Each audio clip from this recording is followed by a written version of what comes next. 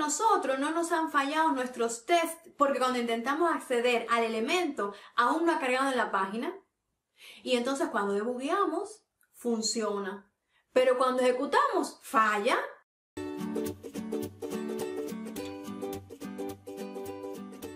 Hola amigos, ¿cómo están? Hoy vamos a hablar sobre cómo trabajar con los elementos waits o elementos de espera de Selenium WebDriver. Y antes de empezar con el contenido, quiero darles una calurosa bienvenida a los nuevos miembros del canal. Gracias por suscribirse. Aquí hablamos de testing, de calidad, ingeniería del software y entre todos nos ayudamos. Suscríbanse los que aún no lo han hecho y activen la campana de notificación para que YouTube les avise de cada video. Y ahora sí, sigamos con las esperas de Selenium WebDriver. Como todos sabemos, una misma página no toma siempre el mismo tiempo en cargar.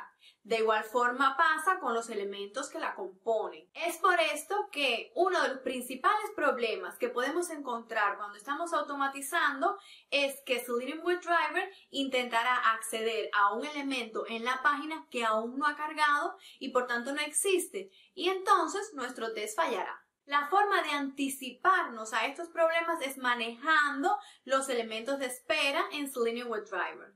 En el sitio oficial mencionan las explicits y las implicit waits, o sea, las esperas explícitas e implícitas. Y recomiendan que se utilice un tipo de espera pues si combinamos los dos tipos de esperas en nuestro código, esto puede acarrear que tengamos tiempos impredecibles de esperas en nuestros proyectos de testing. Entonces, hablemos brevemente qué son las esperas implícitas. Cuando usamos una espera implícita, le estamos diciendo a WebDriver que si el elemento que estamos buscando no se encuentra de forma inmediata en la página, espere un tiempo que nosotros le especificamos.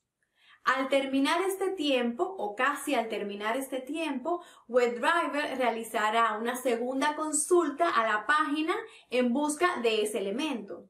Si este aún no ha cargado, entonces lanzará una No Such Element Exception.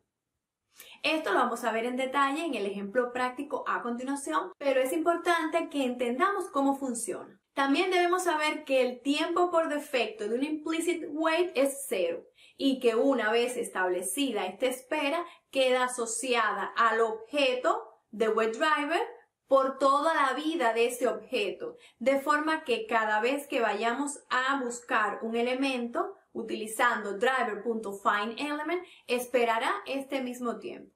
Esta es una de las razones por la que este tipo de espera no es la más recomendada debido a que puede ralentizar nuestras pruebas. Ahora pasemos a las esperas explícitas. Y como saben, un tipo de espera explícita son los tres puntos sleep que hemos estado utilizando, pero que no se recomienda utilizar debido a que, al igual que las implicit waits, establecen un tiempo fijo de espera. Entonces, ¿cuáles sí se recomienda utilizar? Bueno, vamos a ver otro tipo de espera explícita que son aquellas que utilizan el objeto o la clase WebDriverWait y las expected conditions. Estas esperas nos dan la posibilidad de establecer un tiempo máximo de espera pero realizan consultas a la página, al Document Object Model, cada 500 milisegundos, o sea, cada 0,5 segundos. De esta forma, si ya la condición por la que estamos esperando ocurrió, pasará al siguiente paso.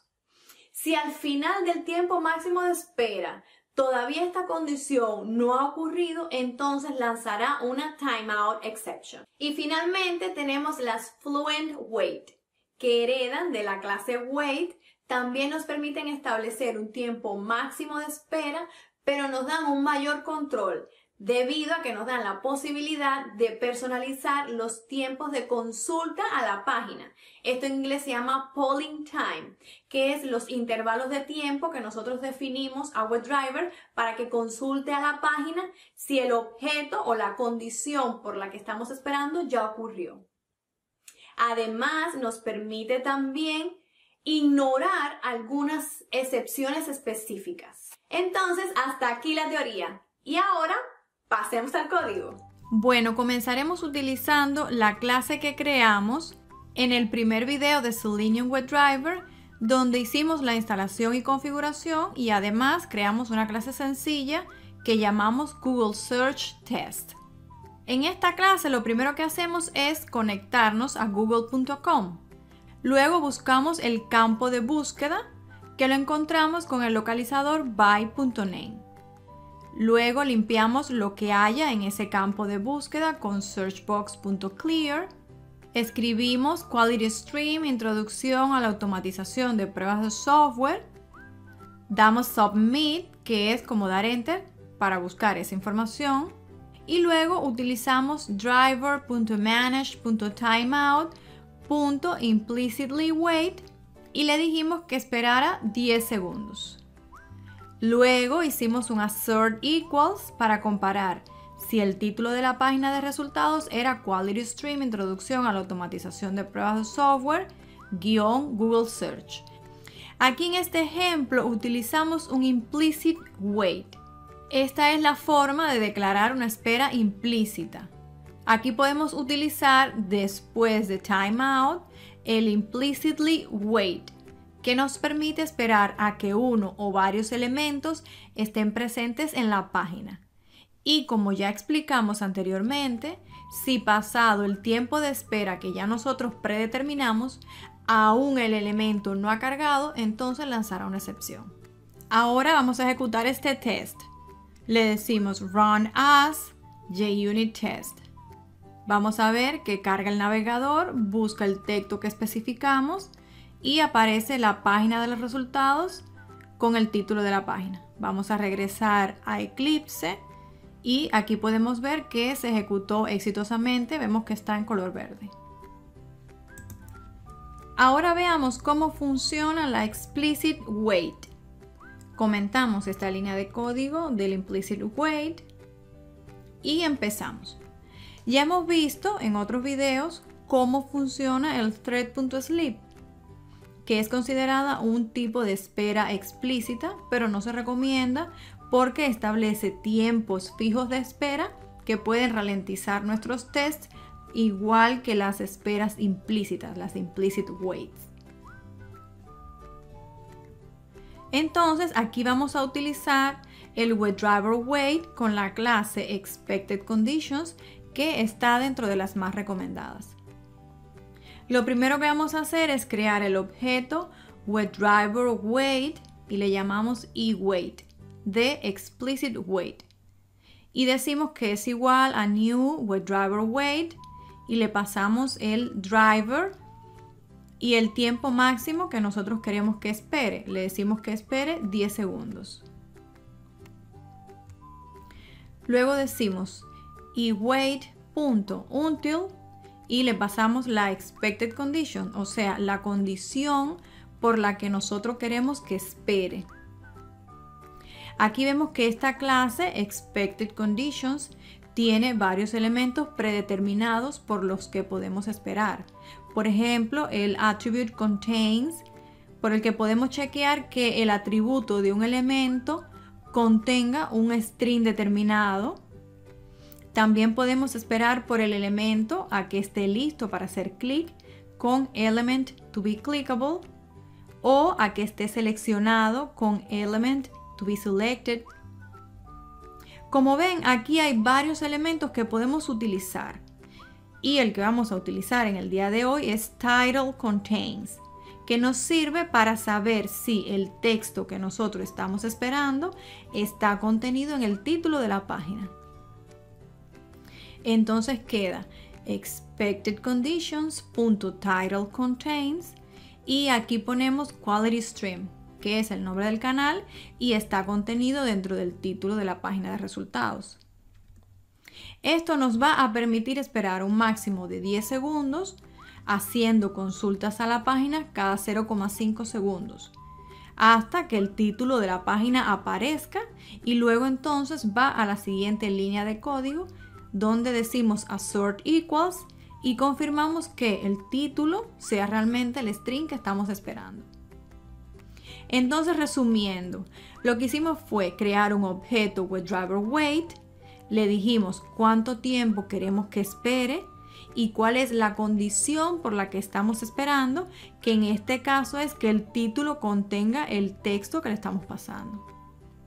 Ahora ejecutamos nuevamente este test, decimos run as JUnit test y vemos cómo la página carga, envía la información y trae la página de resultados. Vamos a Eclipse y podemos comprobar que nuestro test pasó sin problemas. Entonces vamos a pasar al último ejemplo con la espera Fluent Wait. Comentamos el código para la espera explícita y comenzamos con el Fluent Wait. Este tipo de espera se utiliza principalmente para las llamadas que utilizan Ajax, que son llamadas asíncronas, donde los elementos de una página tienen un tiempo de carga muy variable. Las Fluent Wait además nos permiten tener más control dado que podemos establecer el tiempo máximo, el polling time, que son los intervalos de tiempo con los que consultamos la página, y además nos da la posibilidad de ignorar una excepción específica. La clase Fluent Wait hereda de la clase Wait. Entonces aquí escribimos WebDriver, le ponemos fWait de Fluent Wait, le decimos que es igual a new Fluent Wait en WebDriver driver. Importamos la clase y salvamos. Y ahora vamos a establecer el tiempo máximo de espera. Le decimos punto with timeout y decimos que espere 10 segundos. La unidad de tiempo time unit punto seconds. Punto polling every to time unit punto seconds punto ignoring no such element. Ahora vamos a organizar un poco este código. Aquí nos faltó punto class. Entonces aquí le estamos diciendo, estamos creando un objeto fluent wait y le estamos diciendo que su tiempo de espera máximo sea de 10 segundos, que realice consultas a la página cada 2 segundos y que ignore la excepción no such element exception en caso que ésta sea lanzada por el sistema. Aquí nos dice que estos métodos están deprecated, pero vamos a ignorar esto. Con el ejemplo que estábamos viendo, estábamos comparando con el título de la página. Pero este es un elemento que tiene un tiempo de espera muy corto. Entonces, para que este ejemplo sea lo más cercano posible a la realidad, vamos a comparar con un elemento que cargue dentro de la página y que el tiempo de carga pueda ser variable. Vamos a ir entonces a Google, vamos a realizar la búsqueda de forma manual y ver los elementos que cargan. Aquí vemos los videos, vamos a inspeccionar este video, vemos aquí el link, lo copiamos, damos control F para que aparezca la caja de búsqueda y aquí vamos a escribir la estrategia de localización. Decimos A, que es la etiqueta del link. Ponemos corchetes y le decimos busca el link que tenga un href igual a, comillas simple, el link que copiamos. Vemos cómo se resalta y nos dice aquí que con este CSS Selector encuentra solo un elemento. Así que este es un buen localizador lo copiamos, regresamos a Eclipse y declaramos un localizador. Decimos by video link locator va a ser igual a by.csselector y pegamos el string. Ahora ponemos el elemento por el que vamos a esperar, que es el primer video que aparece. Entonces escribimos web element video va a ser igual a fwait.until y aquí le pasamos una función que recibe WebDriver, WebElement. Dentro de esta función decimos public WebElement apply y le pasamos como parámetro el WebDriver driver. Y vamos a retornar el driver.findElement y buscamos el video link locator y salvamos. Aquí lo que estamos haciendo es guardando en el Web Element Video el elemento por el que le decimos a Fluent Wait que espere. Y Fluent Wait entonces esperará un máximo de 10 segundos haciendo consultas a la página cada 2 segundos, que es el polling every, el método polling every, para ver si el elemento ya está presente y le estamos diciendo que ignore las excepciones no such element exception que pueden ser lanzadas si el elemento no se encuentra. Ponemos punto y coma e importamos la librería function de Java útil. Ahora vamos a decir assert true, le pasamos driver.findElement en video link para confirmar que el video que estamos buscando está presente en la página. Entonces este escenario quedaría abrimos la página de Google, escribimos Quality Stream, introducción a la automatización de pruebas de software, damos Submit, a través de Fluent Wait esperamos a que el video que buscamos cargue en la página y confirmamos si está mediante Assert True. Ahora vamos a salvar y ejecutamos este test. Vemos la página nuevamente, está escribiendo, da submit y muestra los resultados. Ahora cuando regresamos a Eclipse, podemos ver que el test pasó exitosamente. Hasta aquí entonces vimos cómo usar las diferentes tipos de esperas en Selenium WebDriver. Las esperas implícitas, las explícitas y las fluent waits. Bueno amigos, espero que en este video hayan podido aprender un poco más sobre los tipos de esperas de Selenium WebDriver cuáles son las más recomendadas y cómo implementarlas en nuestros proyectos de testing. Me despido con mucho cariño, les mando un beso grande y nos vemos en un próximo video. Bye!